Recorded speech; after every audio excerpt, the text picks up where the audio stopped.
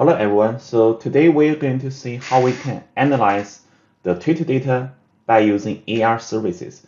And we're using the most famous one that in 2023, that is ChatGPT.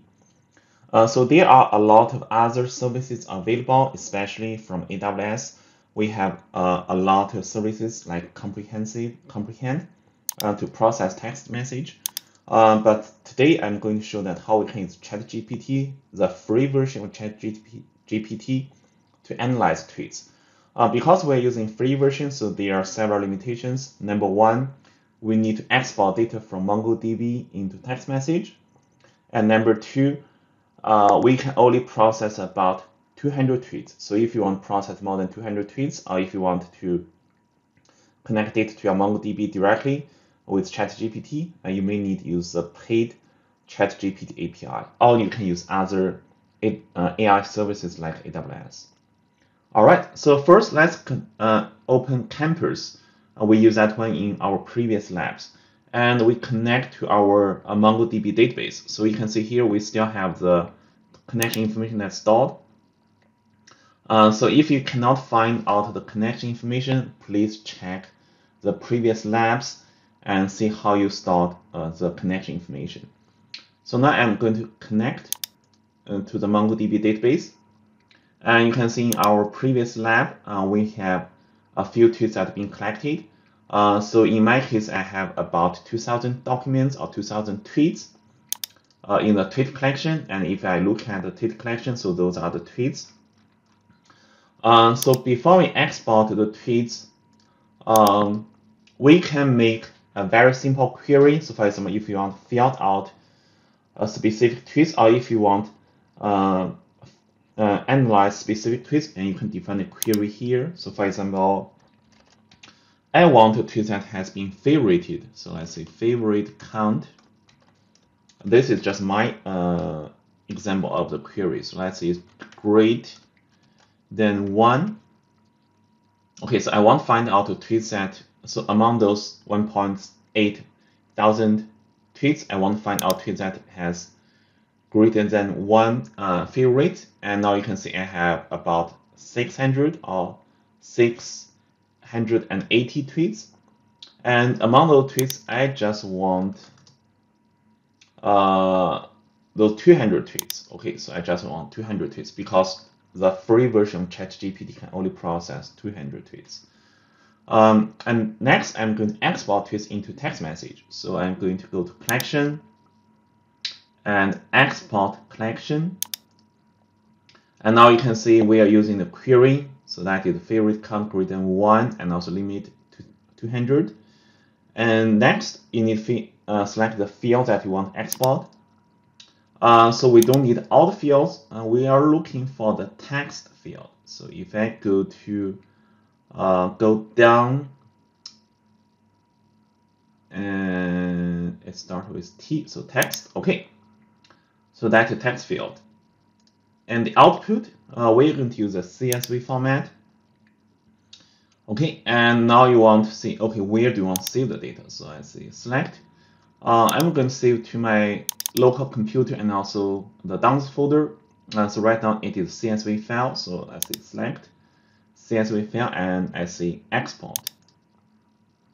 Okay, so now I have exported the 200 tweets and, and, and also I uh, define that, okay, those tweets that have at least one favorite. And next I'm going to see the file. So I see show the files.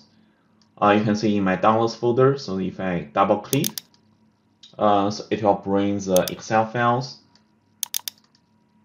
Okay, and you can see that each single row contains one tweet uh, except the first one. So the first one is just the text field name. So I'm going to delete that one.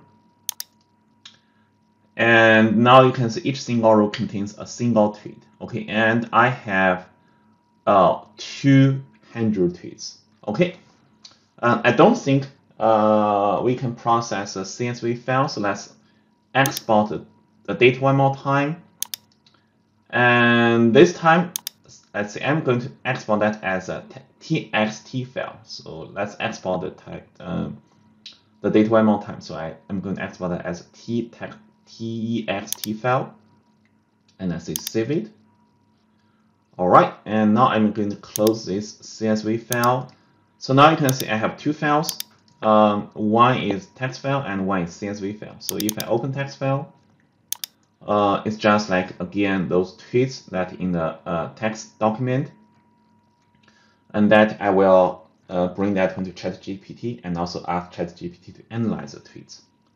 All right, so that is process the data. So next, uh, so how can we bring the how can we open the ChatGPT? So we're not going to use the OpenAI uh, website. Actually, so in the latest version of the Microsoft Edge uh, browser, so they have already integrated ChatGPT in that browser. So what we're going to do next is that first we need to create a free Microsoft account. Uh, so we may all have a JMU account which can be used to log in with Microsoft services like Office, um, uh, SharePoint, OneDrive, etc. But that account does not work with uh, the Microsoft Edge. So we need to create a personal Microsoft account and make sure that it's free. So we can go to this website and here I'm going to say account and I say I want to create one. Again, we're not going to use our JMU account, so create one account. And you just type your uh, your personal email. So for example, I used my Gmail to create that account, create that account. Um, and once you have that account created, you need to download the latest Microsoft Edge browser. So that is uh, from this URL. So download that one. Uh, I know that most people they probably are not using the Microsoft Edge as as their default browsers. So if that's the case, please download and install the Microsoft Edge browser. All right, so once you have the Microsoft account and you have the uh, Edge browser being uh, installed, uh, so now you can open that browser. So that's how to look like, the latest version. And on the top right, you can see this discover button. So that is where you can use the, the chat uh, on the Edge browser, which is powered by ChatGPT. So I'm going to click the discover. And if this is your first time using uh, this chat function, uh, you need to log in with your Microsoft account that you just created. So I say start chatting. And now you need to sign in with the account that you just created. Uh, again, I tested my JMU account, which does not work. So you will have to use our personal account that we just created. So I'm going to sign in with my account. Okay, uh, so once I signed in and I have this welcome page, Okay, and seeing uh, so just uh, additional information about uh, this browser, etc. And you can also choose uh, do you want a more creative or more precise response? So let's say we want a more accurate response. And before we start, we also need one more step that allow the chat GPT or allow uh, Edge browser to, to access or to process our local uh, documents. We click those three dots more options, and then we are going to change the notification and app settings. Okay, and from there you can see app settings. We want the page context to be enabled. Okay, so we enable that one so that will allow uh, this browser to read our local documents. Okay, so once that has been enabled, and we're going to bring our text uh, file which contains those tweets into this browser. So uh, the way to bring that one is pretty simple. So you just find out that text message and drag that one to your browser and hit enter. Okay, so now you're reading this uh, text message that in your browser. Okay, And now we're able to ask ChatGPT to summarize our documents. Okay, so we can just simply type our questions and to this uh, chat box, let's say summarize this document and we hit enter. Uh, so now the ChatGPT is is processing your document, and hopefully they are able to recognize that is uh, talking about a bunch of tweets. Okay, and you can see very nice. So you can see that this web page appears to be a collection of the tweets um, related to JMU, and also they already gave you a very brief summary of those tweets. I think that is perfect. That's very very nice.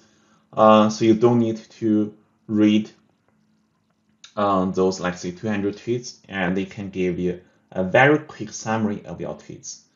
All right, uh, so now uh, you can try to ask more questions and uh, the ChatGPT or the Edge browser we are able to answer your questions based on the content of those tweets.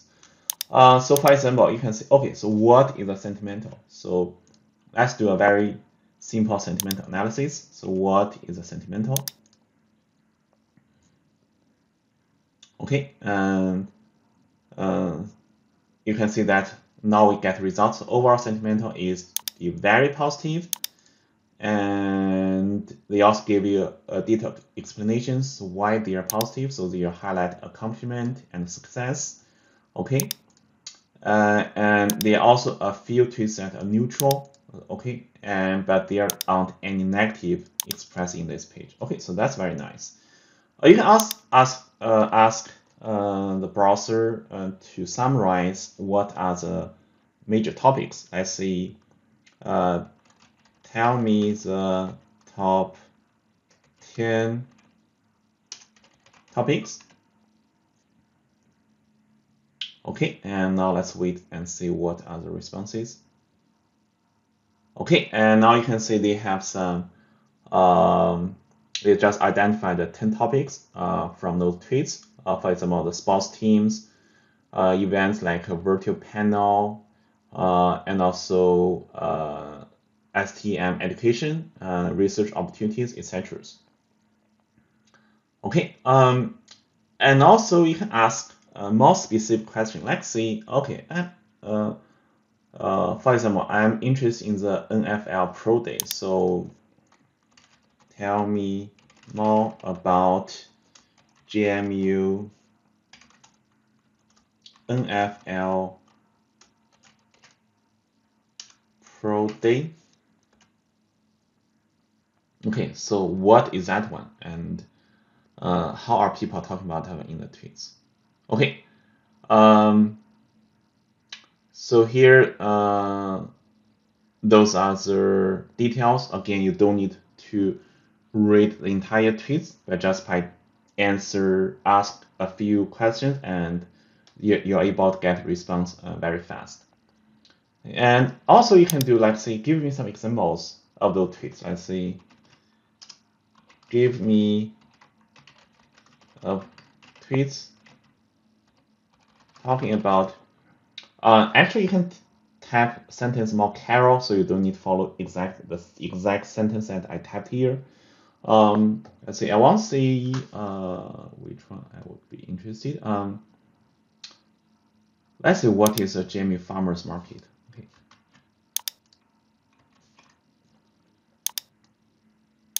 Oops, uh, JMU. Okay, so uh, I want look at the, I want you to select those tweets that talking about JMU farmers market since that is one topic that uh, you summarized. Okay. And see if they are able to identify those uh, specific tweets. Okay, so looks like uh, there's only one tweet uh, that uh, talking about JMU Farmers Market. That is this one. Okay, and that's uh, that's very nice. All right, uh, so please feel free to ask uh, ChatGPT or ask the, the Edge browser that more questions that you're interested. Um, however, there are some limitations of using uh, ChatGPT in this way. So number one is that if you export a huge amount of data, let's say 1,000, 2,000, or even 1 million tweets, um, if you are going to analyze tweets in this way, so that will not work because ChatGPT, or this is a free service. You can, as you can see, I didn't pay any uh, credits or using theirs for using their services. So if you have huge amount of data, uh, they probably will just analyze uh, the tiny portion of your data. They will not uh, process or analyze your entire uh, data set.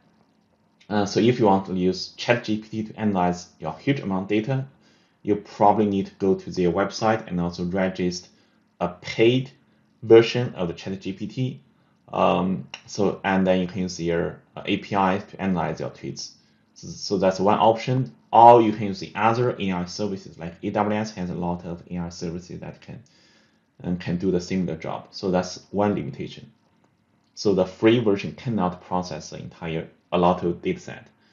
The second limitation is that so uh, so the analysis may feel like it's very natural, so that you're talking like with a uh, like feel like you're talking with a person, so that the in, the experience is like uh, very careful. So however, if you want very specific result, and you cannot get that one. So for example, uh, I want to see that the how many tweets are positive.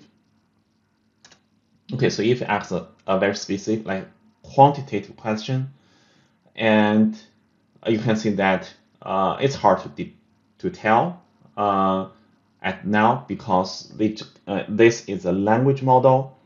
Uh, it's not a topic modeling machine learning model, so uh, it can give you very general um, response, but cannot give you precise numbers. So if you want, let's say, visualize the result, you probably need to use other API services, uh, AI services, not use this uh, this type of ChatGPT to, to do your job.